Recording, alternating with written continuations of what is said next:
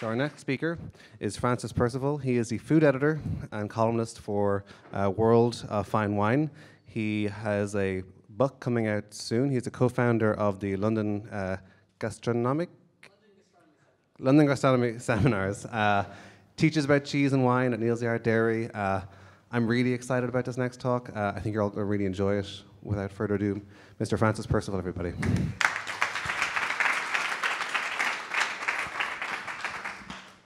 Hello.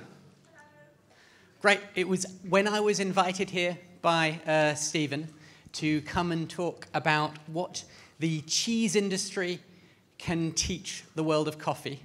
I thought, quite frankly, that Stephen was mad. Uh, when I see events like this, conferences like this, how, how vital, how energetic, and how dynamic the coffee community is, this is actually something that the world of cheese is desperately trying to learn from you about. This is something that uh, there, are, there are the beginnings of the growth of a cheese community, in, certainly in the Anglo Saxon world, but uh, you've got there first. And so, so I, I, was, I was a little bit curious about what, what I could actually talk to you about. So, but then I realized actually, people operating in the what we might broadly think of as the specialty cheese sector, certainly the farmhouse cheese sector, those cheeses made by the people who are milking the animals themselves. In the Anglo Saxon world, especially, they are operating in exactly the same niche relative to their consumers as you guys are as baristas. And so, first, I think it's, it's useful for us to consider exactly where I'm coming from. A lot of these examples are going to be taken from the UK, where I live. But uh, the British cheese industry, many of you might be familiar with cheeses like cheddar or uh, Cheshire or Stilton or things like that. But by the 19, early 1980s, the British farmhouse cheese industry was pretty much dead. Producers had almost universally moved over to selling liquid milk rather than processing the milk on their own farms. And production was no longer uh, centered around the established, uh, for want of a better word, traditional cheeses, but had moved towards vac packing in plastic and creating cheeses that would be shelf stable and comfortable for sale on a supermarket shelf. Now, these uh, figures, I think, say everything. So this is um, 1939 against 2015. And we see in 1939, and I have to say, even in 1939, this is after a period of considerable decline. In Cheddar, so in, in, in Somerset, in the West Country of England, the home of Cheddar, uh, there were over 300 farmhouse producers of raw milk cheese. It's, I think it's worth emphasizing raw milk. If you're interested in producing a, a cheese that has a sense of its own uniqueness, a sense of place, then raw milk, I wouldn't say that it's, it's sufficient, but it's absolutely necessary. Cheese is a fermented food.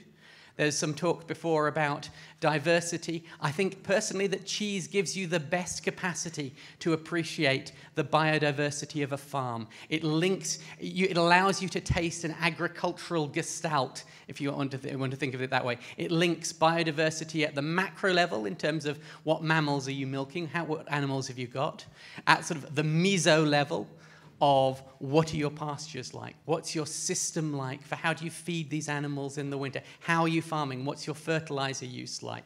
Uh, what's your stocking density? All of these sorts of questions you can taste in the finished cheese. And then at the microbial level as well. And I think that's where cheese becomes particularly interesting. It's a chance to taste your own, I know microbial terroir is a, is a, is a, a controversial concept, but it's a chance to taste what's going on at that microscopic level as well. And you see, this is, this is a period of absolute decline. So cheddar from over 300 cheeses or cheesemakers to, to just three. And the really sad thing is, with just three farmhouse cheddar producers in Somerset, nobody else will enter that market because they feel that it is globally saturated. So this is a story of complete decline.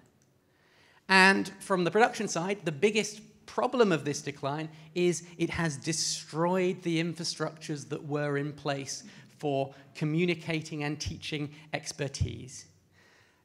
100 years ago, or in, in the late 19th century, the UK had a tremendous infrastructure to teach people to make cheese. We had brilliant cheese schools, we had consultants who would help you solve problems, and just the sheer sort of clustering effect, the sheer vitality that, that comes from hundreds of producers all working in a close geographic area, making the same product, meant that you had uh, a, a, a, real sort of dynamism in terms of even commissioning some scientific research uh, in the 1890s.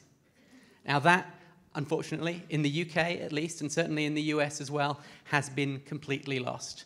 Those, some of you from countries like France still have these infrastructures in place, and for that, we are, uh, in the Anglo Saxon world, very jealous.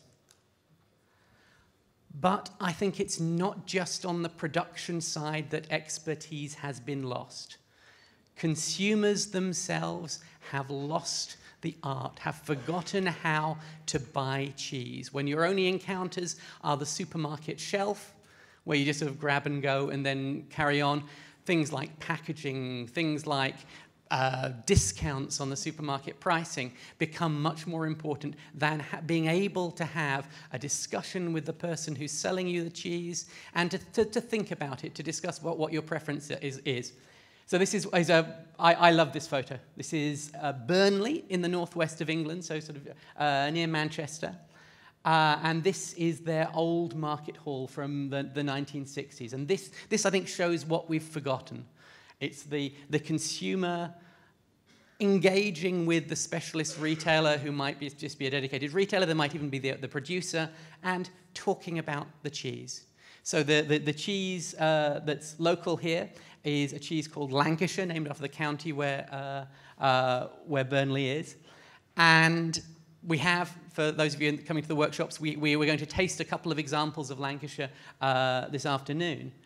But we I, in London, putting on a tasting of, of, of just of Lancashire cheese, it was an utter commercial disaster. Nobody came.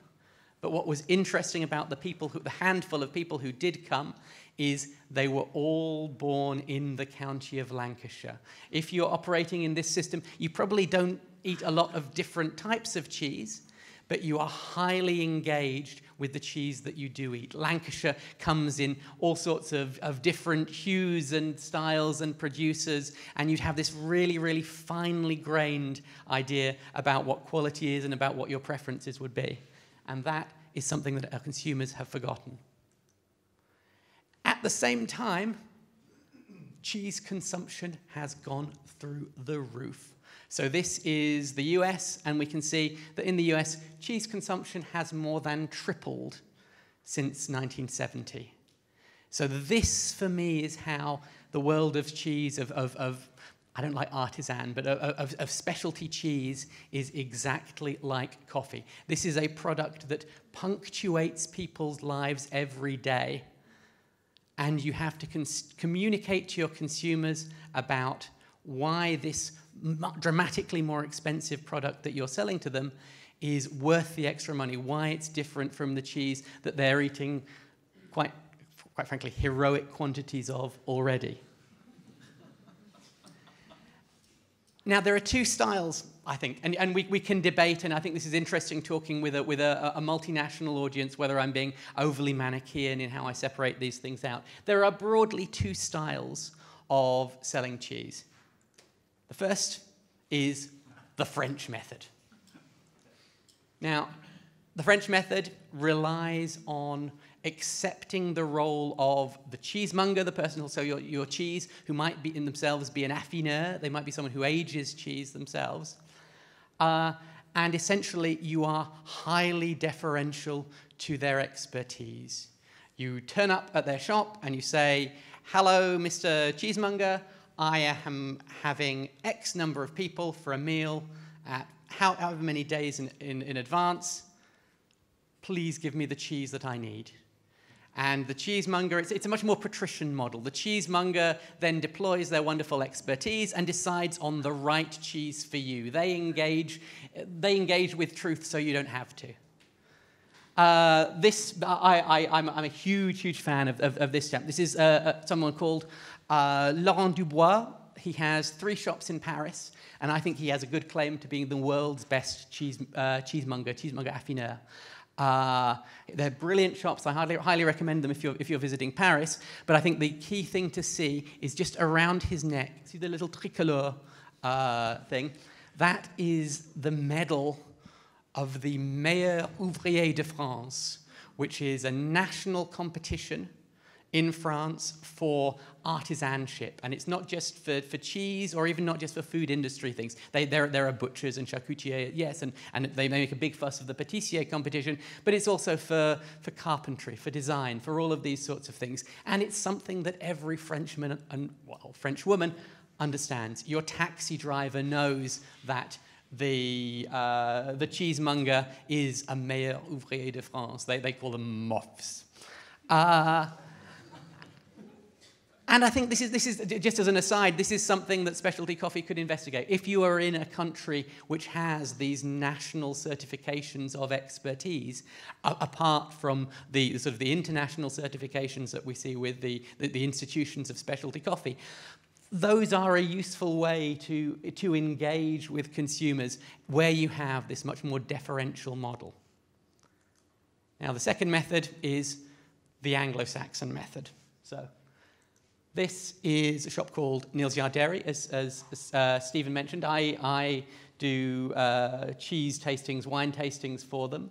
Uh, my wife is the cheese buyer for uh, this company. I actually, I actually live directly above the shop where, the, where this photo was taken. But I think this shows the retail style, how instead of the consumer being deferential to the expertise of the cheesemonger, you hope the cheesemonger is still highly expert, but it's more a, a, a shared journey, a, a joint exploration based around tasting the cheese together, and then they can find the right cheese for, for you as the consumer.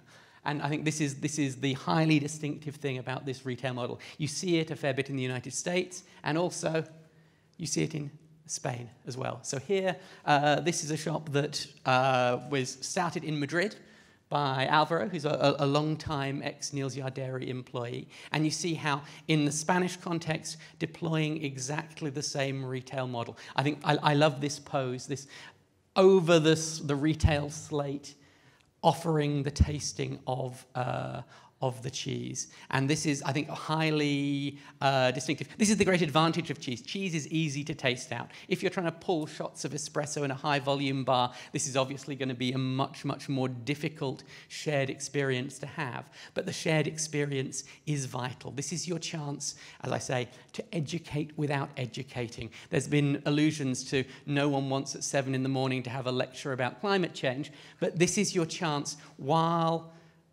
having an, hopefully an enjoyable experience with the consumer to talk a little bit about the experience of tasting, about what those tastes might mean.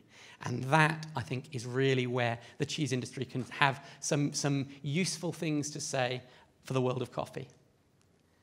Because this is the case. Your language of quality, those aspects that the language you'd use to describe the product, they themselves shape the product. So if you think that creaminess, for example, is a, something to be desired in cheese, then you devote your attention as the producer to try to make your cheese more creamy. And within the Anglo-Saxon world, certainly, and this is, this is where your chance to, to laugh at the sort of the, the uh, dull English, creamy is a huge problem as a descriptor because with a naive consumer, you give them a sample of just about any cheese. And this could be anything, this could be, this could be Parmesan. You give them a sample of cheese, and they will say, Mmm, that tastes creamy. And this is, this is, this is the poverty of our, of, our, of our English vocabulary more than anything else. We don't have lots of words for describing dairy experiences. And so I, I have a dairy product in my mouth, mm, that must be creamy. But we, we see we then have an industry, or we have the risk of an industry that's geared up to meet these, uh, these, these demands. This is a, a, very, a very good cheese called Harbison, made in Vermont in the United States. Uh, but many of the new US cheeses are deliberately targeting this idea of let's make something a bit gooey. Let's make something that, if they like creamy, let's make it a little bit more creamy. Let's perhaps add extra cream to the milk to exaggerate that creaminess of effect.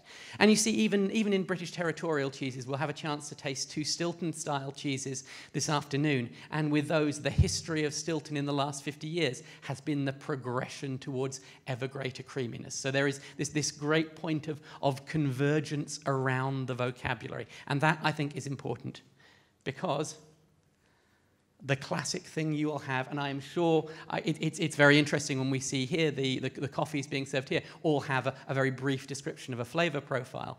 But I'm sure you regularly have with consumers, you give them a sample, you give them a coffee, and the consumer's immediate reaction is, What am I tasting?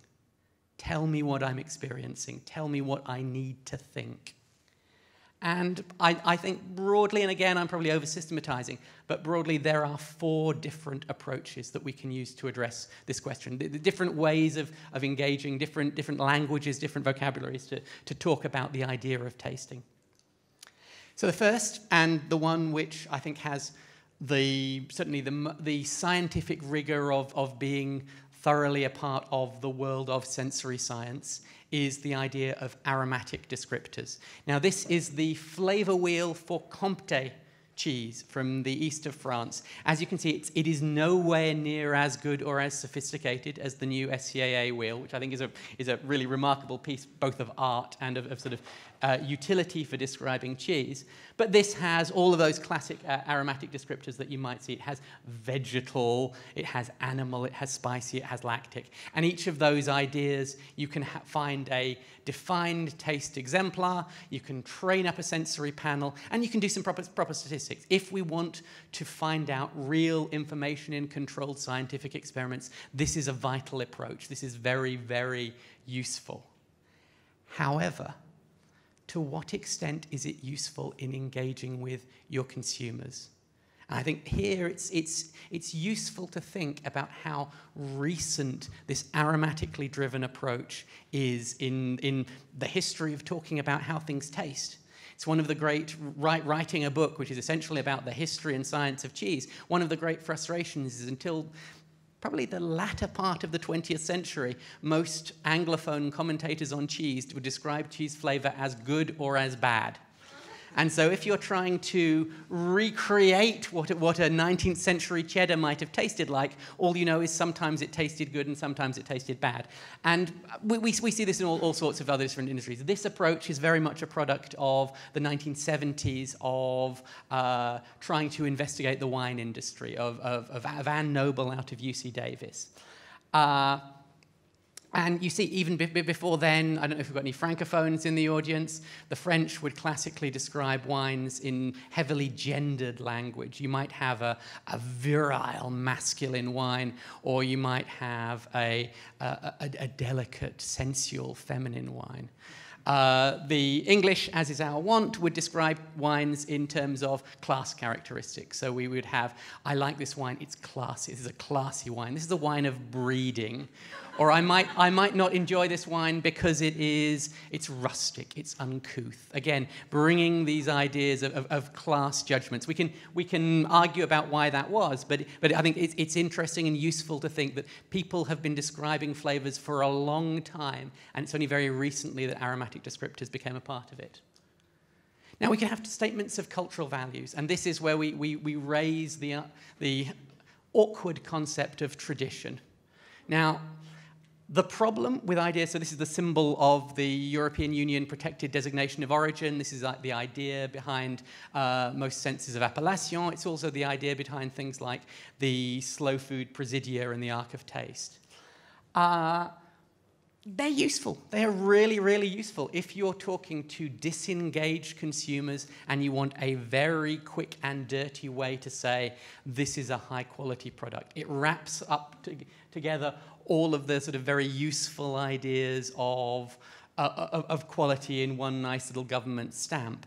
The problem becomes almost universally these statements cannot withstand serious academic scrutiny. You see how PDOs are political constructions which owe more to the local politics of the appellation, or with things like, the, so going back to our Somerset cheddar producers, things like the slow food uh, Presidia for, for artisan Somerset cheddar. They defined themselves so heavily in opposition to shrink wrapped, uh, supermarket cheddar that's aged in plastic that they said, right, the key element of our cheddar is that it is wrapped in cloth as it ages. And this is, this is a distinctive thing. It's, it's almost universal as a characteristic of these British territorial cheeses. It's something that we do and, and not much of the rest of the world does. However, when you investigate this traditional practice, you realize it actually originates from the American cheese factories of the mid 19th century. It's essentially a way to protect your cheese in a pre refrigeration era from the vagaries of the New England summer. And yet, it has become the defining feature of traditional British cheese in opposition to industrial cheese. So, cultural values, tradition, they are useful, but I think they are distinctly problematic if you care about, about it being essentially true we can have quantitative statements. We can put a number on it. And I'm, I'm, I, I, I'm not entirely sure to what extent this has happened in, in the coffee industry. It's certainly something that the spirits industry has done a lot and has very effectively taught people the bigger the number, the better. And we see very similar things in uh, the world of cheese, um, where to make a cheese good, clearly you need to age it for as long as possible. And to my mind, this is in itself problematic. We look back to the late 19th century, and let's, using the example of cheddar, those cheddars would have been aged probably for something between three and nine months a year at tops. Now, because age is a number and numbers are really easy to talk to the consumer about, a bigger number is clearly better, uh, they might be aged for two years. They might be aged for three years by which time, I'm afraid, they taste rather like this mimolette. So mimolette, French cheese, the closest that cheese gets to a cannonball. And there was one historical incidence of this actually being fired out of a cannon when they, they ran out of cannonballs. And you can see this is marketed as extra old, it's quite expensive, but to be honest, it, uh, as my wife says, it indulges a necrophiliac passion. this is a cheese that has essentially died, and it tastes of old cheese. Uh, this, an, an, old mimolette will taste of old cheese, an old cheddar will taste of an old cheese, an old parmesan will taste of old cheese, and old comté will taste of old cheese. You are tasting old cheese. And this is the problem of these quantitative statements. You, you, you introduce as, uh, the aesthetics of pornography, that if there's a number, well, let's just make it bigger because that's clearly better. Now, our fourth method of talking about these flavors is one that I, I, find very interesting. This is something I'm excited to present to a, a multilingual audience. So, this is if I was to tell you that one of these shapes is called booba and the other shape is called kiki. Now, which one do you think is booba? The one on the right, absolutely. There, there is, and it's not, not something you even need to think about. It's absolutely clear. now, this is, this is a phenomenon that was discovered in the late 20s, and it's, it's, it's very interesting from, a, uh, from the psychological point of view. It goes to the neurological underpinnings of language, and it, it's a very robust result. It, it's, you, you, see it universally across humanity. It's as, as true for native speakers of Tamil as it is for American undergraduates. Uh, and this is I think, promising because a lot of the classic methods that we use to describe, in just sort of the vernacular to describe cheeses, actually deploy these shape metaphors. So, this is something that Neal's Yard Dairy, in collaboration with uh, Professor Charles Spence and his lab at Oxford University, actively investigated within cheese asking essentially, and there, there is a paper out, out of it, I can give you, I can give you the reference, uh, asking consumers essentially to taste a series of cheeses and rate them on a kiki to booba scale. Now, uh, the interesting thing about the result was that uh, you essentially got statistical noise until they refined the question and asked consumers to talk to rate the smell and then separately rate the taste. And it was quite clearly that things like a, a ripe, cam- an oozing sort of camembert style cheese that uh, many people, if they, if they prioritize the smell, because, I mean, those things pong, uh, they rated it as kiki. And if they prioritized the texture, that sort of oozingness that you get, then they would rate it as booba. So separating those out uh, uh, gave, I think, a, a, a much, much greater clarity and it made things much, much easier to find statistical significance. Uh, but this offers real, real promise for talking to naive, untrained consumers, people who haven't been had lots of sniff tests and, and you haven't prop tested, you, have, you haven't made part of a consumer panel. Because you can say of a cheese, for example, we might have a cheddar, and you can say of that cheddar, oh, it has, it's sharp, a shape metaphor. Uh, it's jagged, the flavor, again, a shape metaphor. We might have a very young, rindless goat's cheese, and we could say, oh, it's soft, it's mellow, it's delicate. Again, bringing in these ideas of shape metaphors. These are not things you want in a sensory panel because I can't find a, uh, finding the taste exemplar for uh, jagged is really difficult. You can't do a simple sniff test on it. And, and to be honest, the results that you'd get would, would not necessarily be, be useful to you. But in that moment, that little brief span where you have the chance to talk with your customer while you're both eating the product, that can become very, very useful just to shape and contour their ideas.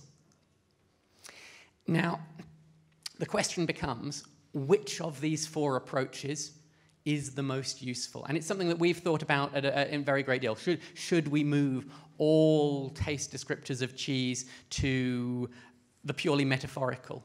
Or conversely, should we adopt, as the, uh, as the coffee industry has, should we adopt more aggressively, uh, very carefully calibrated aromatic descriptors? But I think that actually the descriptors that matter is it's using all of them using those that are most appropriate to your audience because you want to use, in that brief interchange you have, the approach for talking about the product that resonates most deeply with your consumers. And this is interesting. This is some slightly tangential research that we've done on relating it to cultural identities. How do people's attitudes towards raw milk cheese how are they shaped not so much by the cheese, but by, by who they are, by how they define their cultural values? And here, so we've got up on the, the y axis, we've got a very standard sort of political scale of, of uh, authoritarian at the top, as it probably should be, and then down to, to libertarian. Do you prioritize your individual freedoms, or is it the sort of the, the, the, the, rules and structures, the top down side of things? And then on the x axis, we've got traditional on the left, moving to modernists. Essentially, the question of do you think that the world is better now than it was 100 years ago? And, and you see very quickly that different groups, and here we've just got four different groups from, from, from relating to the cheese industry, segment very, very easily into to quadrangles in this way. So we see that libertarian traditionalists. Uh, we see the classic raw milk advocates. These, I think, are best exemplified in the United States by people like the Freedom Riders, people who, in order to, as they say, defend from the government their right, libertarian, to engage in a traditional practice, traditionalists, uh, will take raw milk across state lines in violation of federal law. And then we see uh, sort of the authoritarian, rules based uh, traditionalists, the, the logic behind a lot of those sort of Appellation rules.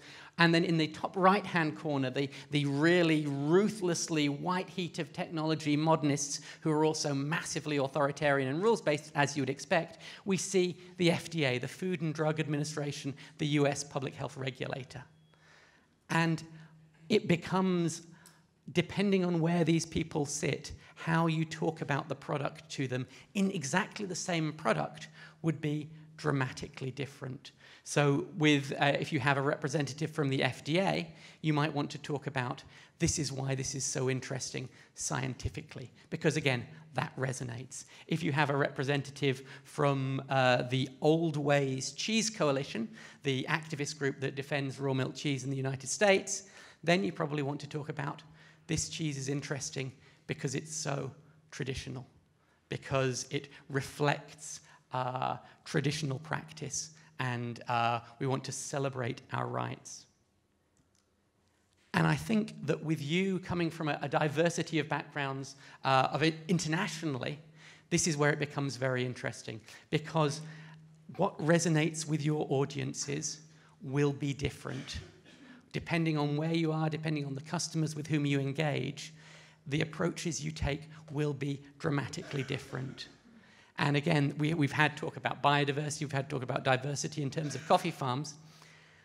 This is the opportunity to have diversity in terms of a language of quality with your consumers. And as we've seen, once you shape that language of quality, define the target that you're trying to aim at, then you're defining diverse cheeses. Nothing would be more damaging to the world of cheese, and I would argue to the world of coffee, than having a single globalized language of quality that everyone just wants to make sort of magical unicorn cheese that will uh, everybody will like. You want the, the it has its interest from the perspective of the producer. It has its commercial sustainability from its capacity to be unique and unlike anything anyone else produces. So thank you very much.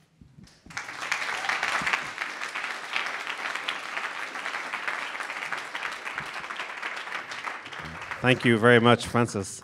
Um, there is no definition of specialty coffee, either on SCE or the SCA side. There is no definition, and it comes up all the time. Being should we? Ha- it's a crazy. We don't have a definition for this. Bit. We're all trying so hard to differentiate ourselves from commodity coffee, the rest of the coffee scene, and we don't even have a definition of it. But I think it's, I think for the same reason you just outlined, it's, there's there's reasons for that, and it's a healthy thing. Uh, questions? Anybody? Out of the gate. No? Oh, yeah, here we go. Thank you. Hello, Francis. Um, thank you very much for that. I'm so fascinated by what you're describing as the different lexicons for the customer which you're approaching. I think from the coffee industry, we've actually got into a bit of a rut in terms of how we approach the language we use. Um, the, we don't really distinguish the, the lexicon we'd use in a roastery versus how we would talk to our peers versus how we talk to our customer. And so you've actually kind of made me start thinking about the differences in in those languages because I think that may actually be what restricts us often when we're talking to our customer. We're used to what we would how we would describe a kiki kind of I love that by the way, the how we would describe a, a sharpness and an acidity is not actually approachable for a customer who is used to other coffees on the high street. That's not a lexicon, it's not a world that they're involved in. So that's actually really interesting. It's not really a question, it's just more of a statement. Thank you. No, it's, it's fascinating. And I was, Kim and I were talking, um, this is very broadly speaking, but if you, a lot of African coffees, because you think about, I, as I saw that, I started thinking about coffee names and names of different farms and how just because of where they're domiciled, a lot of countries will tend, the languages will tend to have slightly more consonant heavy names. And a lot of African countries, you'll see a lot of like, what's that coffee? Uh, uh, Reko, Reko, is that Reko? Everyone has a Reko coffee.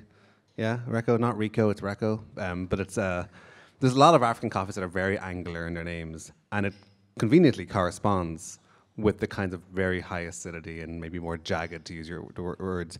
Whereas a lot of the Latin American coffees will, again, very broad, broadly speaking, all of them uh, are going to be rounder and lots of vowels. Lots of vowels, though. Yeah, but but the, but the coffees are often rounder and they're, they're more associated with being kind of uh, maybe more mellowness, sweetness, approachability. Um, again, horribly broadly speaking. Um, I, I, think the service things are fascinating because I think what you there's this thing in coffee that keeps happening where things go full circle. I used to I often make this joke that if someone like left coffee 10 years ago or even 15 years ago and went into a cave and came back out again right now, a lot of things would, would have gone full circle. Like fully automatic machines or semi-automatic machines are back in vogue. Like drip brewers are now cool again, and it's all like, oh, nothing's changed. Cool, I'll go back inside again. Whereas in that time, we've all gone on these crazy angles and come back. And I do think there's there's a a, a strong appetite right now to to look back and look back at kind of how are these products being sold, consumed, marketed, educated on. Um, and the stores you show, the two different styles of serving cheese. Um, um, have you seen anything in coffee that kind of matches, fits into any of those two categories neatly, or where it blurs them, or does anything interesting with that? I think that uh, where you get, and, and some, some, some roasters that I will keep anonymous that I, uh, that I know have had the problem of individual baristas who are super highly engaged, who are, who are doing independent uh, professional development, who are, who are really, really passionate about, about, about their, uh, their world and their career, individually branching off more towards that sort of French direction. And the struggle for how you relate that then to consumers who want the coffee that they want. And I think we, I mean, customer service is tough. And you're always going to, unless you're an exceptional person, you'll, you will burn out if you have to engage with a customer every day for too, too long. Uh, but I think that's something that really exacerbates it. It's, uh, we, we, we sometimes joke in the cheese world that the advantage of the, the sort of the Anglo-Saxon model, this idea that you're, you're jointly tasting the cheese, is that it requires no differential of expertise on the part of the consumer and the, and the cheesemonger. That the cheesemonger ideally needs to be really good at looking after the cheese. They need to be good at wrapping it. They need to be good at tending it. They need to be good at, at all, all of those sorts of, sort of sorts of technical roles. But they don't need to know a huge amount about it. And it actually makes service much easier uh, because there, there, there is never any sort of your this sort of discussion of are you the customer because you're going to pay me money so are you a higher status or are you respecting my expertise so i'm a higher status there is never any of that sort of sort of sort of jostling it's it's, it's very much a shared sort of thing uh, and I think that's what certainly my experience with some coffee roasters, that's or some some coffee shops, that's what customers want. And then the barista, who is has through their own independent study become a tremendously knowledgeable individual, wants to be, wants to be respected uh, like a Laurent Dubois figure and wants uh, to, uh, to deliver the coffee that they know is best. To the consumer. Well, it's interesting you say that because I, you know, we've, we, if that older world of coffee and the big open bins of coffee beans and the sort of like the hoppers and you fill your bags, which was very immersive, but we kind of realized, oh, maybe it's not the freshest way to do this. And it's, we kind of wanted to differentiate ourselves as an industry and we moved towards beautiful packaging, beautiful packaging on a shelf, sell this as a lifestyle brand, heavy design focus. And then I think we could, you, could, you could observe the sort of rise of roaster retailers as an attempt to sort of combine those two things. Like, how can we make it immersive again? So you, because what cheese has just like mm. it's so immersive. You walk in yeah. and just everything just hits you in the sights and everything. It's all just there. Whereas we tend to package it and, and hide it in some ways. That, that is cheese's great advantage. I, th- I think yeah. that uh, it's inherently immersive and it's inherently easy to sample. Yeah. And uh, even, even when I compare it with the world of wine, it has taken until now to technologize in the world of wine the capacity to be able sustainably to give you a sample pour uh, in a way that with cheese you can just cut some off and, get, and give it to someone. The problem with cheese becomes uh, you need the volume of turnover. I have been to a lot, particularly of large multiple retailers who might be dabbling within the, with the world of a cheese counter, uh, where essentially, again, cheese has gone to die. And it's, some, it's sometimes an interesting exercise because you see cheeses much, much older than you would ever otherwise see them. But uh, they're not they're not getting getting through. They would be much better having a, essentially a, a, central cutting facility and having a grab and, grab and go in terms of the uh, the quality of the cheese that you're getting. But they've made that decision to be uh, to be immersive. And do you think people have? Lo- I mean, I'm going to keep asking questions unless there is questions. Okay, I'll I'll defer to Kim. Thanks.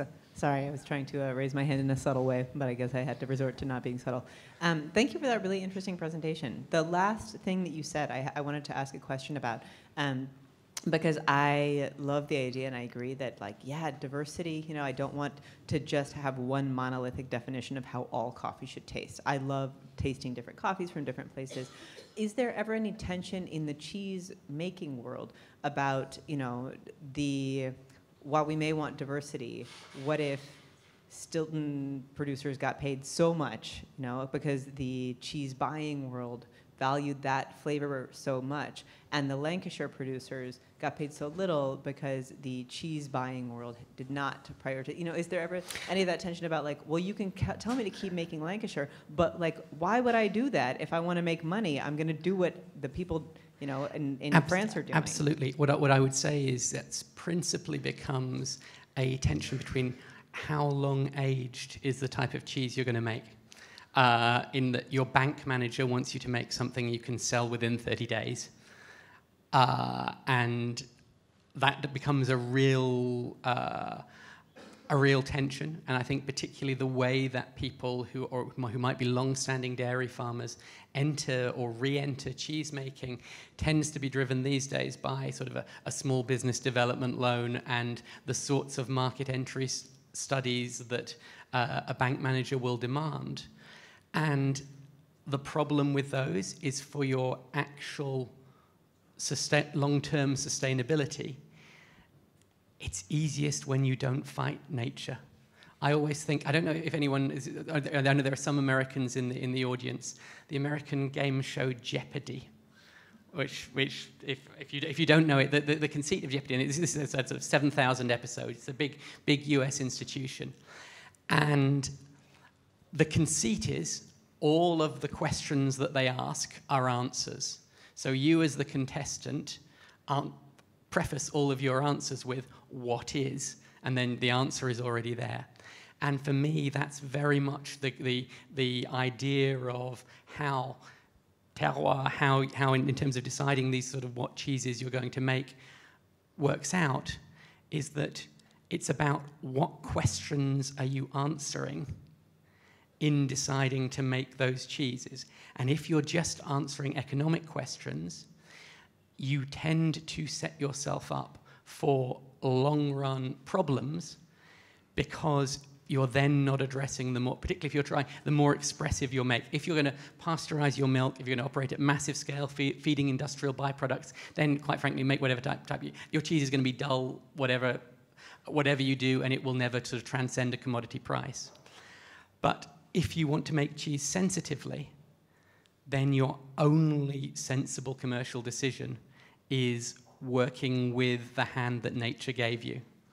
And you see how those cheeses, which have had a long term sort of evolution with the place that they're made, they are all answering very specific questions. So, in the workshop this afternoon, I'll, I'll show you some of the consequences of, of uh, what happens when you try to make a cheese that goes against, that's a crime against nature, that goes against uh, the situations you have and it's not pretty. And it, it causes you, you might not be getting the really high price or the really great turnover, but you're, also, you're, you're not getting the massive wastage. And I think that's where those sorts of things uh, become sensible. I think the biggest problem with cheese in terms of pricing is the cheese market is massively flat as a pyramid. So at the wholesale level, the price that you get as a, as a top, at the top, top, top cheddar producer in the world is only three times the wholesale price of commodity block cheddar. And when you look at the extra risk you're bearing, the extra labor, the decision to make cheese is pretty much about ego more than anything else.